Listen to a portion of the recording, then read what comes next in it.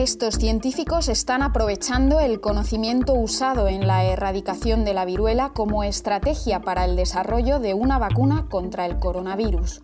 Desde que se publicó la secuenciación del genoma del SARS-CoV-2 a principios de 2020, el equipo liderado por el virólogo del CSIC, Mariano Esteban, del Centro Nacional de Biotecnología, trabaja en un candidato a vacuna que induzca protección frente a la COVID-19 con una sola dosis.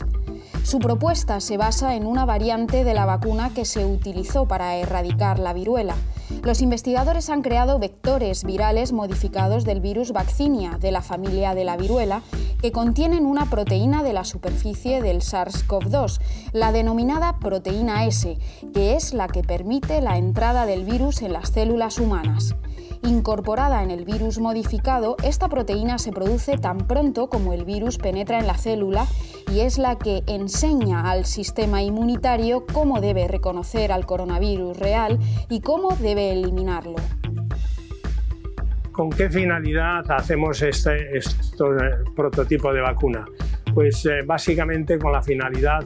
de eh, neutralizar al virus del coronavirus y al mismo tiempo también activar a la población de los linfocitos T, que son células en circulación, que una vez que han sido activados lo que van a hacer es bloquear al virus, por un lado, el virus circulante, y por otro lado, destruir a la célula infectada. El objetivo es que la protección sea completa, eh, por ello utilizamos este tipo de estrategia que eh, no solamente nos proteja frente a la variante prevalente en circulación en, en nuestro país o a, nivel global, sino también con aquellos variantes que surjan, es decir, mutantes que puedan surgir que eh, confieran eh, más resistencia a las vacunas actuales.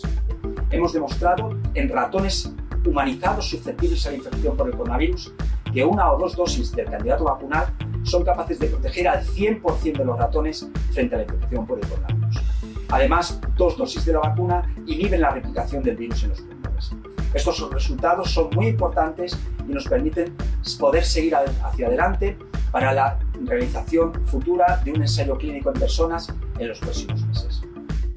La empresa biotecnológica española Biofabri producirá la vacuna en condiciones de uso en humanos para poder utilizarla en voluntarios sanos. Bueno, hemos completado la parte experimental en, modelo de ratones, que son ratones humanizados, que se infectan severamente por el coronavirus. Eh, ahí hemos demostrado una alta eficacia y eh, pasamos a eh, modelos experimentales de hámster, que ya está en marcha. Todo esto es, nos lo exigen las agencias reguladoras del medicamento, tanto la europea como la española, para poder ya llevar a cabo las fases clínicas 1, 2 y 3. La fase clínica inicial sería con fase 1, con unos 100, 112 voluntarios, eh, a los que se les administrarían eh, dos dosis distintas de la vacuna para ver una más baja y una un poco más alta.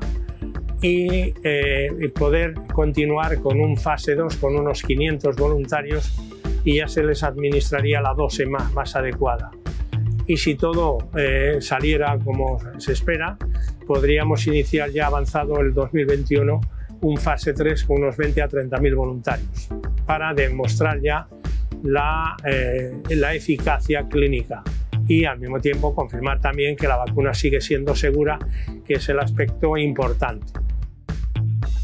Los investigadores del Centro Nacional de Biotecnología del CSIC también están trabajando en la búsqueda y el desarrollo de candidatos vacunales que puedan bloquear nuevas variantes, como las detectadas en Reino Unido, Sudáfrica y Japón en las últimas semanas, u otros coronavirus que vayan surgiendo. Bueno, los candidatos actuales son de primera generación y eh, han demostrado que eh, una, alta eficacia pero no obstante lo que no sabemos es durabilidad de esa respuesta, eh, eficacia en, largo tiempo, eh, si pueden surgir también variantes, mutantes que puedan ser resistentes, como estamos viendo ahora actualmente, a día de hoy, una variante en el Reino Unido que parece ser que tiene mayor capacidad de diseminación en la población, de transmisión, y eso lógicamente aquí en el laboratorio es uno de los proyectos que eh, va dirigido a tratar de evitar que, los mutantes también sean resistentes y sería una, una nueva y novedosa aproximación para el control de la pandemia. Además del equipo de Esteban, otros dos grupos del Consejo Superior de Investigaciones Científicas, el de Luis Enjuanes e Isabel Sola en el Centro Nacional de Biotecnología y el de Vicente Larraga en el Centro de Investigaciones Biológicas Margarita Salas, están trabajando por conseguir nuevas vacunas efectivas y seguras.